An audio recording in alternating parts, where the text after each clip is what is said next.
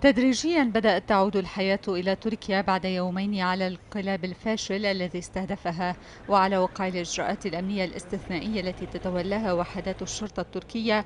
أصدرت القيادة العامة للجيش التركي بيانها الأول بعد الأحداث الأخيرة. أعلنت فيه انتهاء محاولة الانقلاب العسكري بالكامل مؤكدة أنها لن تتلقى أوامر سوى من الحكومة الشرعية في البلاد.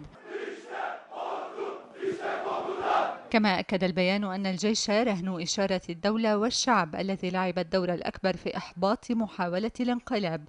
الرئيس التركي رجب طيب أردوغان الذي تقدم كبار المسؤولين الأتراك وألاف المواطنين في مراسم تشييع عدد من ضحايا محاولة الانقلاب دعا أنصاره للبقاء في الساحات العامة مؤكدا أن وزارتي العدل والخارجية سترسلان طلبا للولايات المتحدة والحكومات الغربية من أجل ترحيل مناصري فتح الله جولان إلى تركيا.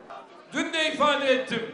خطوة منظمة فتح الله جولان الإرهابية وجدت ردا مناسبا من قبل الشعب التركي وهذه المنظمة تتساقط وتتهاوى رويدا واعتقلنا آلافا من أعضائها الإرادة الوطنية أخمدت محاولة الانقلاب والقضاء على هذا الفيروس في كل مؤسسات الدولة سيستمر من جانبه رئيس الحكومة التركية بن علي يلدريم الذي تفقد مقر تلفزيون TRT الذي احتله الانقلابيون لفترة وجيزة قال إن البلاد مرت بامتحان صعب جدا ولن تتقاعس وأن الانقلابيين سينالون جزاءهم العادل داعيا الشعب التركي لعدم الإصغاء إلى الحملات الدعائية المناهضة للحكومة وإلى التمييز بين المؤسسة العسكرية الشريفة والخونة الإرهابيين.